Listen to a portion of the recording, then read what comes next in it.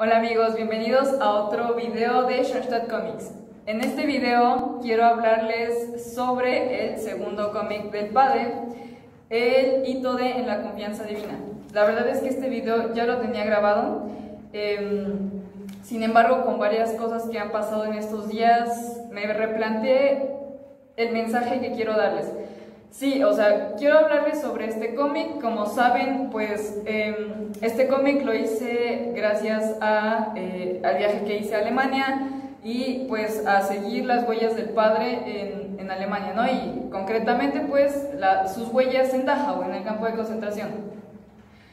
La verdad es que durante estos días me he puesto a pensar mucho, y no es la primera vez, sino que em, sobre la persecución a la Iglesia Católica la verdad es que es algo que, que se vive hoy y que se ha vivido siempre.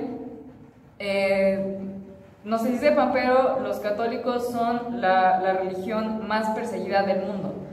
Eh, hay países en los que de verdad los, los católicos están casi extintos por el grado de persecución que hay. ¿Por qué les hablo sobre la persecución? Em, porque justamente por eso el padre Kentenich fue a un campo de concentración por la persecución que se vivía en, la, en el periodo de, los nazis. Y es algo súper fuerte porque la persecución que vivió el padre se sigue viviendo hoy en día. Ajá, o sea, hay católicos asesinados en China, hay católicos asesinados en países de Asia Menor, hay católicos, o sea, donde ustedes dirían, bueno, es que ahí es complicado ser católico, pero en sí hay, se asesinan sacerdotes católicos en todo el mundo. En mi país, en México, por ejemplo. O sea, no es algo único de países en los que la religión católica quizás no es la que, em, la que es eh, como la número uno, por así decirlo, en los países. No, sino que se asesinan sacerdotes católicos y se persiguen a católicos en todo el mundo. Igual que en la época de los nazis, hoy en pleno siglo XXI, en el 2020. Y eso es un mensaje como bien fuerte que, que, creo que muchas veces como católicos, en primer lugar, no sabemos, no tenemos ni idea de que existe eh, la persecución a, la, a, los católicos, pero yo quisiera que se pongan a pensar un poquito en, en, en su salón de clases. ¿Cuántas veces han sentido miedo a eh, expresar su opinión porque saben que su opinión va en contra de la opinión de todo el salón, inclusive la opinión del profesor. Y tienen miedo a expresarlo porque saben que se les van a venir todos encima. ¿Cuántas veces de verdad se han quedado callados por eso? ¿Cuántas veces han dicho su opinión, pero han sido súper atacados? Eso es persecución.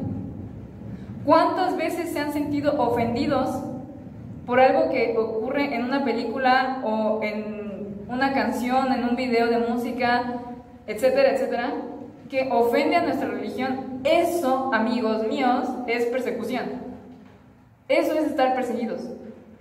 Que el hecho de que tú des una opinión y te digan, ah, bueno, ya hablo el católico, eso es persecución inclusive también puede ser en la misma familia, con tus familiares, etcétera, que tienes miedo de decir lo que piensas o que prefieres no hablar ciertos temas en los que sabes que te van a omitir la opinión porque eres católico. ¿Cuántas veces un profesor les ha puesto quizás una nota eh, mala porque su opinión es, viene de un católico? O han tenido que batallar muchísimo, batallar es algo así como que han tenido que sufrir mucho con un profesor porque, eh, porque son católicos y porque su opinión es contraria a lo que el profesor quiere que piensen. Eso es persecución.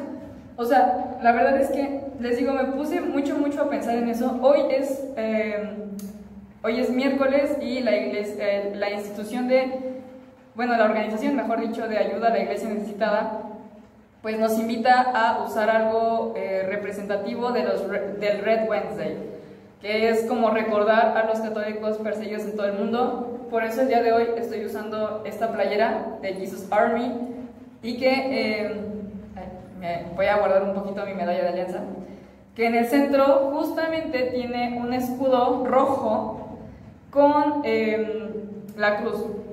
La verdad es que el escudo rojo hace más sentido como al, bueno, más alusión como al, a la cruzada, pero eh, justamente pues es algo rojo por el Red Wednesday. Justamente recordando a los católicos que han sido perseguidos en el mundo y que siguen, seguimos siendo perseguidos en el mundo. Él, el padre José Kempeni, sí, o sea, fue al campo de concentración por voluntad propia para ganarnos la libertad interior, pero, ¿cuál es el contexto histórico de esto? La persecución. Persecución religiosa. O sea, a los padres si ustedes no lo sabían, pero los padres eran de las personas que peor trataban en los campos de concentración.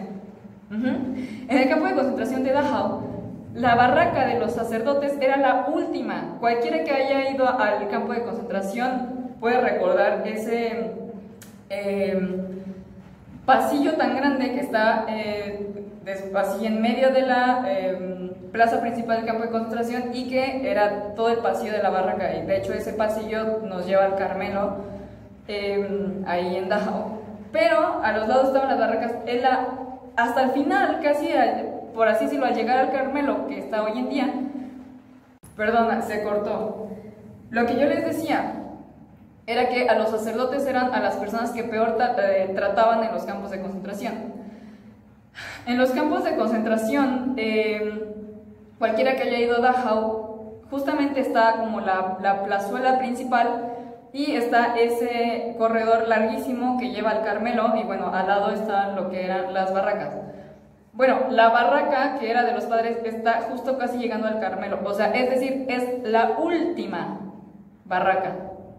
Los sacerdotes, bueno, las personas, eh, los presos de Dachau tenían que llevar su comida hasta, em, hasta su barraca. Eran ollas gigantes con, con sopa hirviendo o con sí, usualmente era sopor hirviendo, era una olla tan pesada que hacía que a los presos se les quebraran las manos, porque eran tan delgados que se les quebraban las manos y el líquido les caía encima. Sea, no, no bastaba que se te quebraran las manos o algún miembro de tu cuerpo porque era muy pesado, sino que además se te caía el, el líquido hirviendo. Persecución, ¿por qué por ser religioso tenía que tratarte así?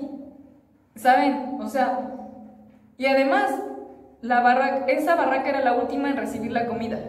No, no, no bastaba eso, aparte era la última. Entonces, si se te quebraba la mano, te caía el líquido hirviendo, ah, encima tenías que llevar la comida. ¿Por qué? ¿Por qué por creer en Dios te tienen que tratar así? O sea, ¿A, qué va mi comentario? ¿Por qué?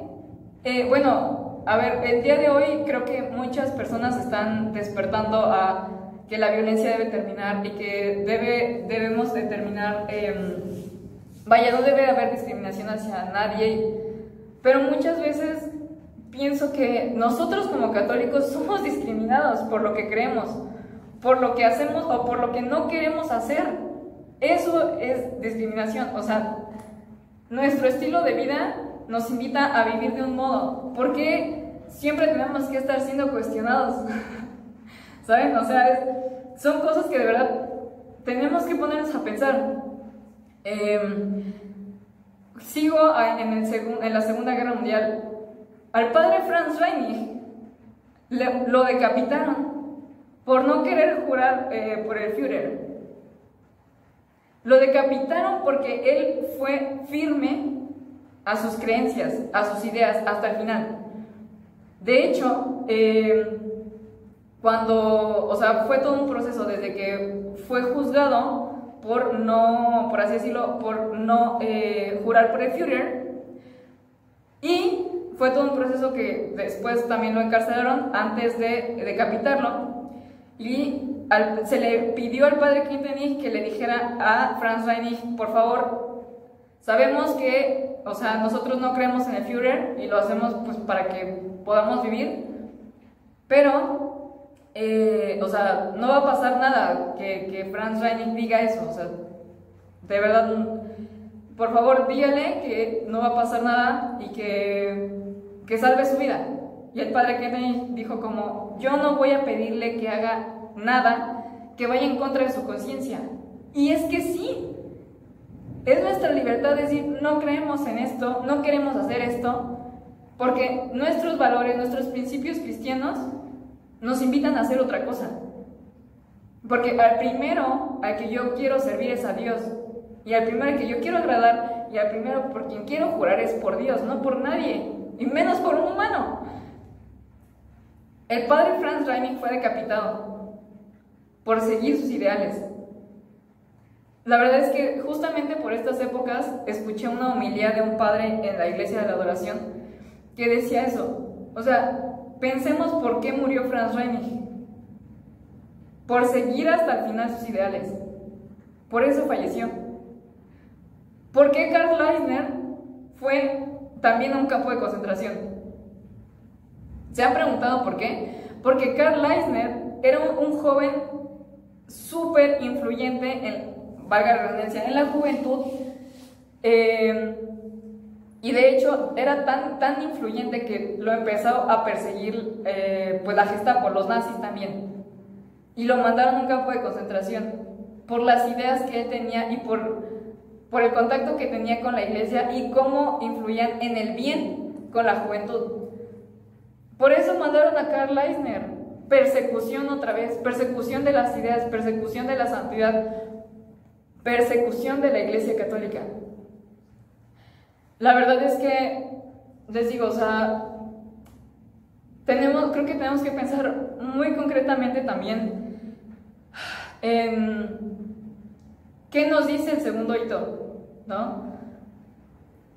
En muchos aspectos, o sea, eh, Dios es un Dios histórico, o sea, no las cosas no pasan porque sí, todo tiene un sentido, pero nosotros también como católicos y bueno, como shonstatianos, tenemos que encontrar el sentido y, qué nos dice hoy Dios también.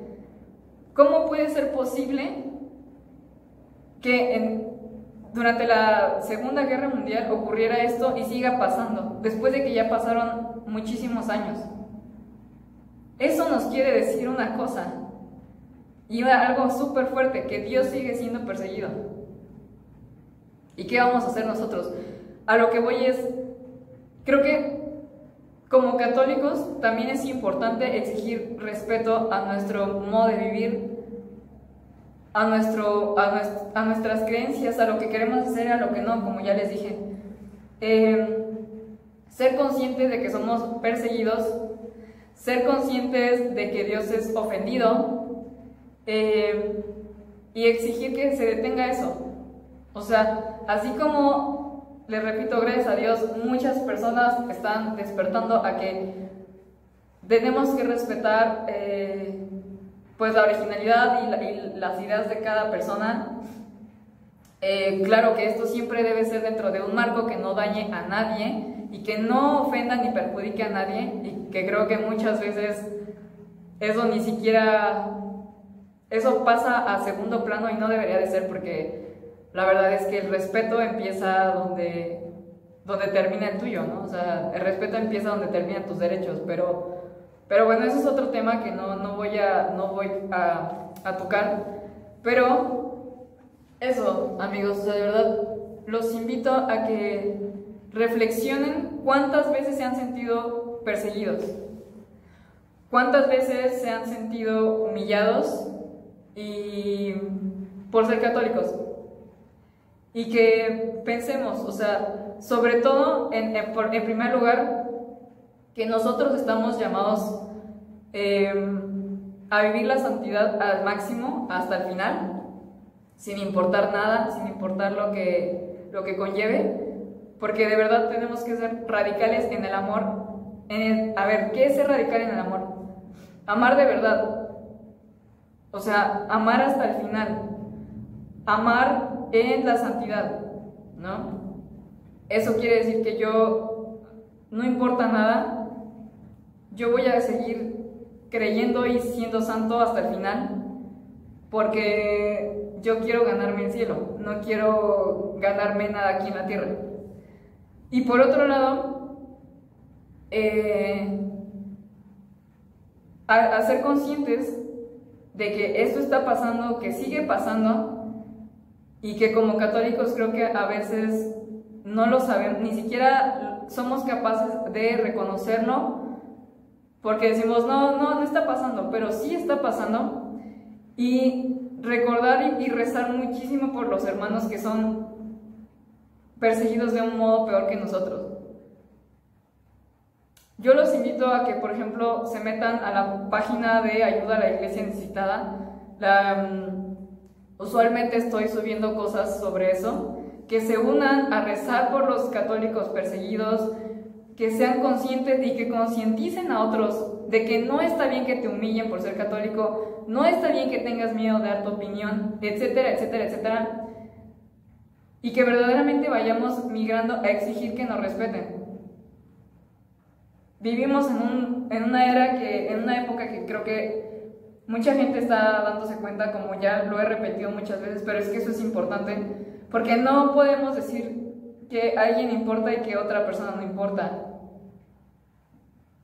Eso es importante. Em, y sobre todo eso, porque tristemente, o sea, y de verdad me duele, recuerdo, por ejemplo, hace un año, hace dos años, justamente íbamos regresando de misiones, y quiero cerrar con esto, íbamos regresando de misiones, era Pascua, vienes todo contento, todo feliz, todo lleno del Espíritu Santo, del fuego de Dios, y la noticia de Sri Lanka, ¿se acuerdan? En la India, un atentado, eh, pues por así decirlo, terrorista de... Em, de, los extremistas religiosos de, la India em, asesinaron a 300 personas en una iglesia que estaban celebrando Pascua.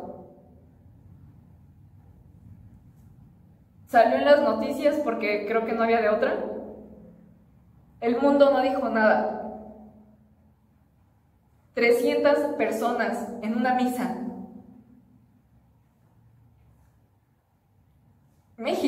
Es un ejemplo de eso. Pueden buscar sobre la guerra cristiana. ¿Cuántas personas murieron por ir a la iglesia? Persecución. Entonces, hay que rezar también por las personas que nos persiguen, sobre todo, pero es importante que nos demos cuenta y que, y sobre todo, ¿Qué nos dice este hito? ¿Qué nos dice este hito el día de hoy? Seguir hasta el final los ideales, al, máximo, no importa qué, pero tenemos que luchar porque se acabe la persecución. Tenemos que exigir que se acabe. Eso, yo los invito a que el día de hoy recen por los hermanos perseguidos y, y recemos por, por el Padre, por la persecución que tuvo que vivir por Franz, por Karl y por todos los católicos que, que han sufrido por nosotros y que nosotros tenemos que regresarles algo.